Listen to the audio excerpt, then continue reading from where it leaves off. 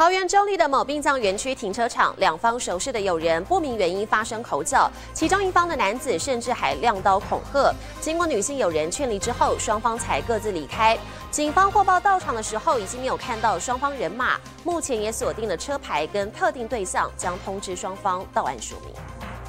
两三台车在人来人往的停车场挤成一团，好几名黑衣人下车，疑似开始发生口角。其中一人似乎气不过，双手拿刀恐吓，吓得对方走远好几步，直到一名女子前来劝离，双方才悻悻然离去。事发桃园中立配音路的一间殡葬园区的停车场，二十八号中午左右，双方人马相互熟识，但因不明原因在这里发生口角，其中一方的男子直接亮刀恐吓对方，经女性有人劝阻后，双方才各自离开，事情平和落幕，有惊无险。警方接获民众报案，出动优势警力到场处理，但双方早已离去。警方根据车号已锁定对象。并积极通知双方当事人到案说明，并后续侦办。警方已经锁定特定对象，后续要来厘清双方到底有什么恩怨，不能好好沟通，非得要在人来人往的停车场亮刀恐吓。记者林柱强台湾报道。